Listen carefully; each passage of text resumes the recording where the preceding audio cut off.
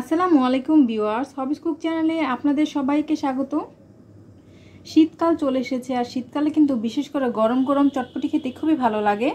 আমি আজকে সিম্পল পদ্ধতিতে বাজারের কেনা মশলায় ঘরে আপনাদেরকে স্পেশাল চটপটি করে দেখাচ্ছি একদম দোকানের মতো।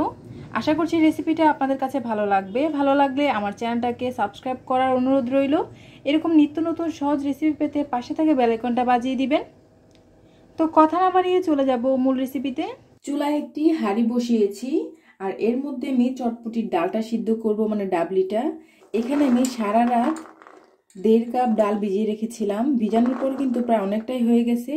আর আপনাদের সুবিধার্থে আমি আরেকটা কথা বলে দিই, এখানে আড়াইশো গ্রাম মানে এক পোয়া ডাল আছে। আমি এটা সারা রাত ধরে ভিজিয়ে রেখেছিলাম, এতে করে সিদ্ধ করতে সুবিধে হবে, ঝটপট সিদ্ধ হয়ে যাবে। তো আমি হাঁড়িতে দিয়ে দিচ্ছি। এখন এখানে দিয়ে দিব ছয় কাপ পানি। আমাদের ঘরে পানি খাওয়ার যে মগ আছে, সেই মগ দিয়ে আমি ছয় মগ পানি দিয়েছি। চার চামচে এক চা চামচ লবণ দিয়ে দিলাম। চুলাটা ধরিয়ে এটাকে সিদ্ধ করব। ডাবলিটা যখন ভালোভাবে সিদ্ধ হয়ে যাবে, আর যদি দেখেন যে পানিটা কমে যাচ্ছে, তাহলে চুলায় এক্সট্রা পানি বসিয়ে রাখবেন। এক্সট্রা গরম পানি দিয়ে দিলে হবে, কিন্তু ঠান্ডা পানি দেওয়া যাবে না। চটপটির জন্য আমি এখন তেঁতুলের টকটা তৈরি করব। তার জন্য এখানে একটা বাটি নিলাম। এর মধ্যে হাফ কাপ পরিমাণ তেঁতুল দিয়ে দিচ্ছি। পুরনো হোক আর নতুন হোক একটা তেঁতুল দিলেই হবে। দিয়ে দিচ্ছি হাফ কাপ পরিমাণ পানি। আমি তেঁতুলটাকে কিছুক্ষণ ভিজিয়ে রাখব, এতে করে খুব সহজে এর মাঠটা বের করা যাবে। ফিরে এলাম আবারও। আমি এখন তেঁতুলের মাঠটা বের করে নিব। হাত দিয়ে কচলে আমি বিচি এবং শ্বাসগুলো আলাদা করে নিচ্ছি। এভাবে করে হাত দিয়ে চেপে চেপে শ্বাস এবং বিচিগুলো আলাদা করে নিতে হবে। চাইলে আপনারা একটি স্টেনের সাহায্যে ছেঁকে নিতে পারেন।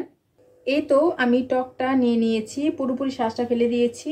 এখানে দিয়ে দিচ্ছি এক টেবিল চামচ পরিমাণ চিনি। আর এখানটায় আছে হাফ চা চামচ বিট লবণ, হাফ চা চামচ চটপটি মশলা, হাফ চা চামচ টালা জিরার গুঁড়া, আর হাফ চা চামচ মরিচ মানে একটা শুকনো মরিচ আমি ভেজে হাত দিয়ে গুঁড়ো করে নিয়েছি। দিয়ে দিচ্ছি লবণ। আমরা সাধারণ যে লবণটা খাই, সেই লবণটা দিয়ে দিলাম ওয়ান ফোর চা চামচ পরিমাণ। আর এর মধ্যে দিয়ে দিচ্ছি হাফ টেবিল চামচ পরিমাণ লেবুর রস। এটা অপশনাল চাইলে লেবুর রসটা আপনারা বাদ দিতে পারেন। আমার কাছে মনে হয় ফ্লেভারটা খুবই ভালো আসে লেবুর রসটা দিলে। এবার সব কিছু ভালো করে একত্রে মিশিয়ে নিচ্ছি। আপনারা চাইলে এই তেঁতুলের টকটাকে গাঢ় রাখতে পারেন অথবা পাতলা করতে পারেন, যার যার টেস্ট অনুযায়ী। আর আমি আজকে যে টকটা তৈরি করেছি, এটা দিয়ে আপনারা চটপটি, ফুচকা, বেলপুরি, যেটাই হোক না কেন খেতে পারবেন খুব সহজে। টকটা কিন্তু খেতে খুবই মজা লাগে। আমি আরও কিছুটা পানি অ্যাড করব, কারণ বেশি গাঢ় রাখব না। এটা দিয়ে আমি ফুচকাও তৈরি করব। এই তো টকটা রেডি এবার আমরা চটপটির বাকি প্রিপারেশনটা সেরে নিব। ডাবলিগুলো সিদ্ধ হয়ে গেছে, আর এখানটায় পানিটা কিন্তু অনেকটাই আছে। চটপটি কিন্তু একদম শুকনো শুকনো হয় না, একটু ভিজা ভিজা হয়, সেজন্য পানিটা পরিমাণ বুঝে রাখবেন। যদি বেশি পাতলা করতে চান, পানি বেশি করে রাখবেন আর ঘন করতে চাইলে কমিয়ে কমিয়ে রাখবেন। আর আমি এখানে এক্সট্রা আরও দুই কাপ গরম পানি দিয়েছিলাম। আর এখানে দিয়ে দিচ্ছি মাঝারি সাইজে দুইটা আলু সিদ্ধ করে আমি হাত দিয়ে চটকে নিয়েছি। আলুটা এই অবস্থাতে দিচ্ছি, এতে করে আলুটাও গরম গরম থাকবে, কারণ চটপটিটা গরম গরম খেতেই কিন্তু খুব সবচেয়ে বেশি ভালো লাগে। আমি হালকাতে একটু প্রেস করে দিব, যাতে করে দুই একটা ডাল একটু ভেঙে যায়। এতে করে চটপটি খেতে বেশি ভালো লাগবে। আর এখানে কিছু মশলা অ্যাড করছি। এক টেবিল চামচ পরিমাণ চটপটি মশলা, এক চা চামচ চিলি ফ্লেক্স মানে শুকনো মরিচ দুইটা আমি হাত দিয়ে গুঁড়ো করে নিয়েছি। ওয়ান ফোর চা চামচ নিয়েছি লবণ আর হাফ চা চামচ বিট লবণ নিয়েছি। লবণের পরিমাণটা বুঝে শুনে দিতে হবে। এবার নেড়ে চেড়ে একটা বলক আসা পর্যন্ত অপেক্ষা করব। এই তো বলকটা চলে এসেছে। এখন আমি যে বাটিটাতে এটাকে রেডি করব, সে বাটিতে নিয়ে নিচ্ছি। এর মধ্যে একে একে আমি সব কিছু অ্যাড করব। দিয়ে দিচ্ছি এক টেবিল চামচ পরিমাণ চটপটি মশলা। আপনার আপনাদের ইচ্ছে অনুযায়ী মশলা অ্যাড করতে পারেন। এক চা চামচ পরিমাণ টালা জিরার গুঁড়া। এবার তেঁতুলের টক থেকে আমি কিছুটা টক দিয়ে দিব।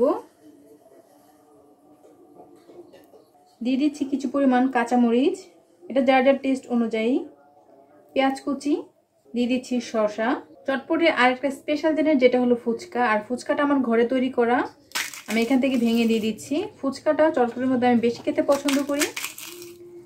আপনারা আপনাদের টেস্ট অনুযায়ী বাড়িয়ে বা কমিয়ে দিবেন। এখন সব কিছু ভালো করে আমি নেড়ে চেড়ে মিশিয়ে নিব।